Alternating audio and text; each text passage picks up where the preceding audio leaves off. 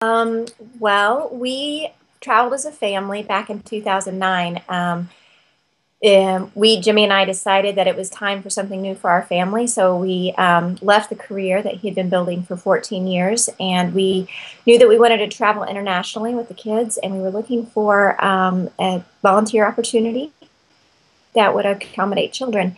And we found ourselves in Fiji. Um, we'd been there once before for a work trip, um, but and we'd always wanted to go back. And there was a program um, happening on Vorovoro Island, and um, so we traveled there. We had three children, and we participated in the on the project on Vorovoro for ten weeks. And while we were there, we took um, project director uh, positions within that project. Um, when that project ended at the end of 2010, um, we promised the family, we'd worked with them, with the Fijian family, for over a year at that point, and we'd really seen what they could do, and we had really grown um, close with that community, and also had heard what their dreams for their um, the future of their island. The um, the community in Fiji where we stayed is is in the northern part of Fiji, and it's a very rural area. And the one of the most wonderful things about them is that they're so open and hospitable, and they'll just welcome you right into their home, and and uh, take you in as a member of their family, basically. Uh, which was one of the things that we found so um, so in, exciting about them. So while we were there, we we basically lived with them, worked with them. Um, we we spent all of our time on the island just learning about their culture and um, just being just a part of their community. just taking part in whatever was happening and, and learning and listening a lot and telling a lot of stories.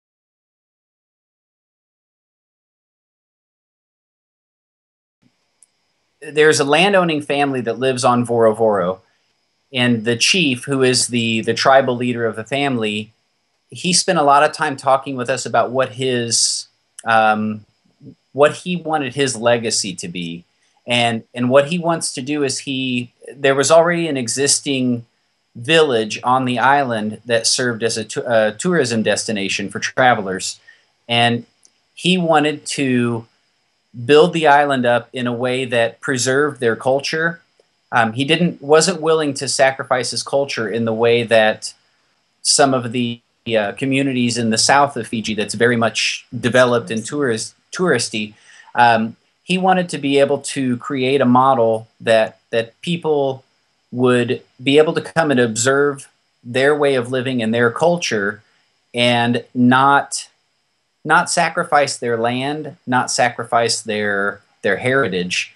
They want something that can last for generations, mm-hmm. so that when this chief is gone, the next chief can can continue to have this to pass on to his children and, and grandchildren.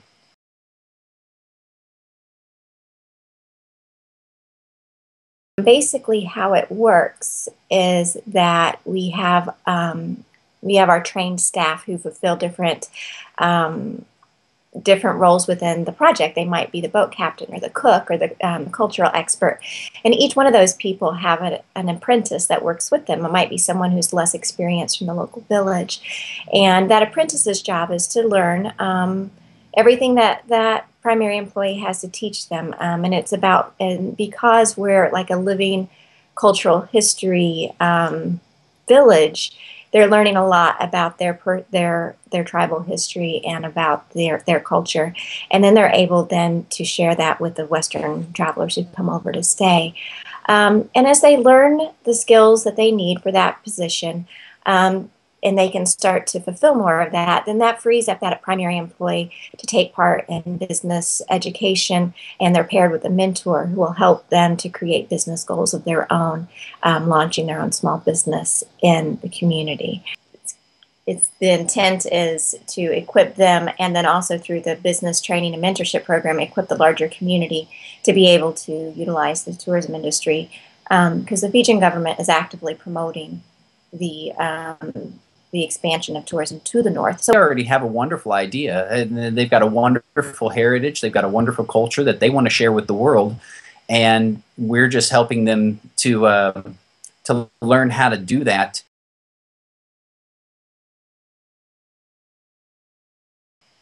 And the way that we have it set up, the way that, um, you know, they, over the next 10 years, they will be trained and will be working closely with us to learn how to operate the business. And, and as they hit benchmarks, the partnership shares, the ownership of the company um, transfers into their favor. So that by the end of the 10 year period and they've reached all their benchmarks, um, now it's 90% owned by us, 10% by them.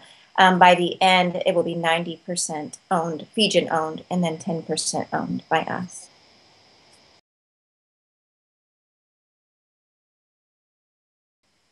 Well, um, I guess as far there's there's a couple different uh, a couple different angles to the sustainability part. Um, as far as on the island itself, uh, there is, um, as I said, there's already kind of an infrastructure set up. There's a village there. Um, there's water catchment, and uh, so all of the fresh water on the island comes from rainwater catchment. And there are storage tanks, and then we also have composting toilets, which are um, are used to help fertilize the gardens because it's very sandy soil.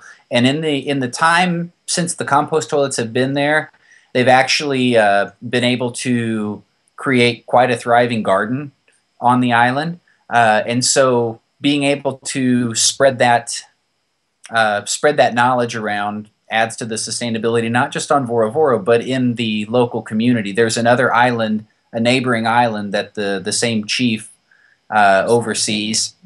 And so now they're actually, uh, they've built some compost toilets on the neighboring island, and people are starting to use that. Uh, that knowledge um, to to help in their gardening and their farming because these um, the communities there are primarily farmers and fishers, and so um, that's been a big part of it. And then from an economic standpoint, um, as Jenny mentioned earlier, we have a uh, the the way the primary employee program is set up. Uh, we will equip them with small business um, mentorship so that they can take uh, once they're through working on the island then they will part of that program is that they will will have a fund matching program set up to where they will take part of their wages put that away and we'll match those wages. And with the idea being at the end of their term as an employee, they will have money saved up in account and we will help them to launch their own small business, um, which will then be a business that can interact with with the uh, the business on Vorovoro. So maybe it's a uh, a chicken farm where they're raising chickens and selling the eggs to Vorovoro so that the the kitchen ladies there can then you know use that to feed the travelers.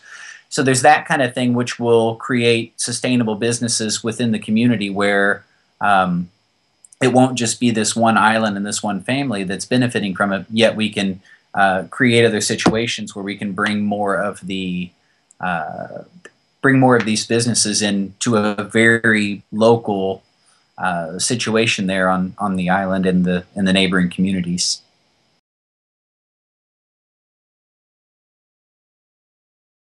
persistence and patience. And um, I guess the other thing I would maybe want to say is that there's no shortage of ideas in the uh, of ideas to make the world a better place, but it's just a matter of putting those ideas into action. And by supporting um, social enterprise, that's how we can do that where everyone, um, or those who have professional skills and would like to apply them in a way to a greater good, can do that. Um, and we're in a crucial stage right now with with our project, in that we're getting our initial funding together. We've um, we've invested everything we have to get to this point, and and now we need the backing so we can take it to the next level. So um, support social enterprise and. Um, and if you are a social enterprise, be persistent and patient.